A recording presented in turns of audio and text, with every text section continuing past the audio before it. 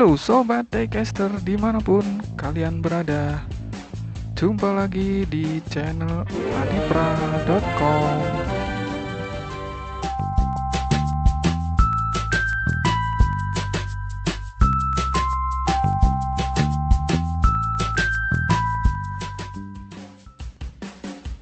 Sebelum video ini kita lanjutkan, saya ingin mengucapkan terima kasih telah menonton video ini dan telah mensupport channel ini dan buat yang baru menonton dan belum subscribe, subscribe dulu dan nyalakan loncengnya, like-nya dan komennya. Terima kasih. Oke okay guys, kita sekarang akan bahas satu Hot Wheel Wagon yaitu Volvo ini bukan Volvo biasa. Diecast Hot Wheel 1 ini didasarkan dari mobil asli dengan nama yang sama. Mobil yang menggemparkan arena balap Eropa pada tahun 94 yes this is it. Volvo 850 Estate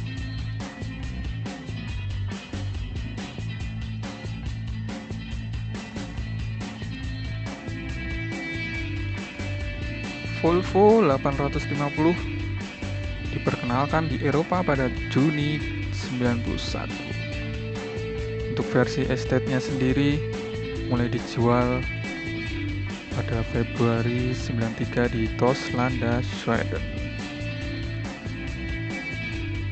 Bentuknya unik, versi wagon. Mari kita lihat detailnya. Secara keseluruhan mobil ini didominasi warna biru dan putih.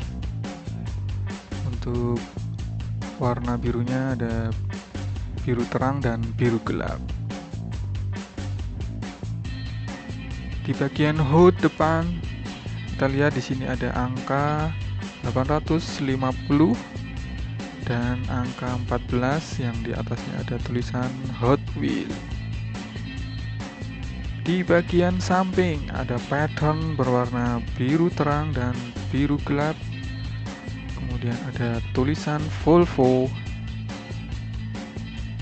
dan angka 14 dengan logo Hot Wheel di atasnya. Sisi sebelahnya juga sama dengan sisi sebelumnya. Untuk bannya sendiri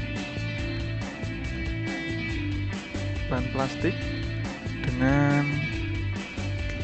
tires ten spoke berwarna abu-abu. Warna jendela dibuat clear sehingga kita dapat melihat dengan jelas interior dari mobil ini berwarna biru dengan setir di bagian kanan. Kemudian di bagian belakang terlihat ada ban cadangan yang menjadi bagian dari detail interior. Kemudian di bagian roof terhadap pattern berwarna biru dan sunroof dengan warna clear. Mobil ini memiliki 5 pintu dengan dua pintu di bagian sisi kanan, dua pintu di sisi kiri, dan satu pintu di bagian bagasi belakang. Terakhir bagian beige ini plastik dengan warna putih.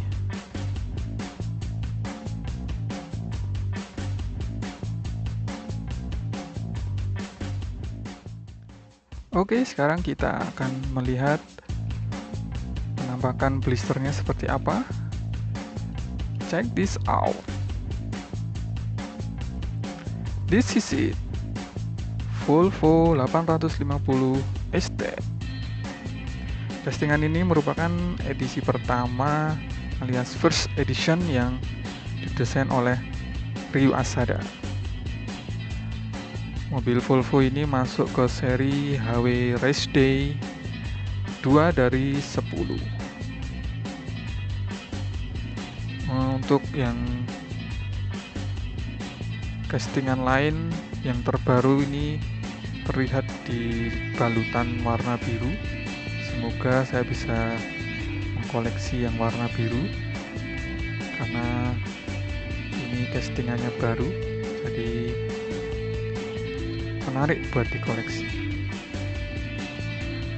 Tampilan belakangnya seperti ini.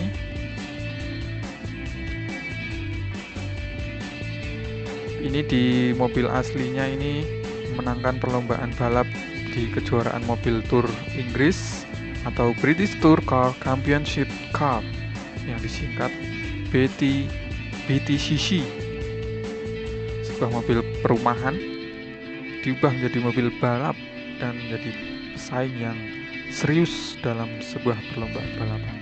Keren. Mobil ini cocok buat dikoleksi para diecaster semua.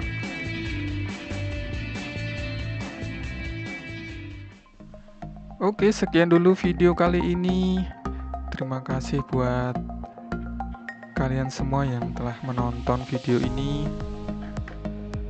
Sebelum video ini kita tutup, saya ingin berbagi satu buah Hot Wheel uh, sebagai ucapan terima kasih saya kepada para penonton yang telah support channel ini sehingga sampai saat ini masih bisa update video-video tentang diecast.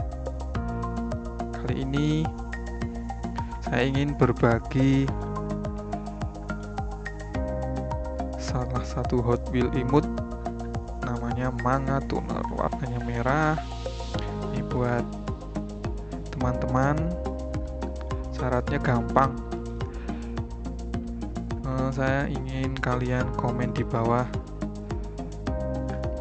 menjawab pertanyaan kalau wabah corona telah selesai dan telah dieliminasi dan kita kembali normal apa yang akan kalian lakukan pertama kali saat keluar rumah? Oke itu saja. Silahkan komen di bawah.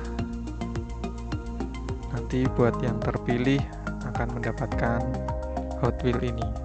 Oke, terima kasih. Ditunggu komen-komennya dan pengumuman akan diumumkan pada video selanjutnya. Sampai jumpa di video selanjutnya. Salam Diecaster Indonesia.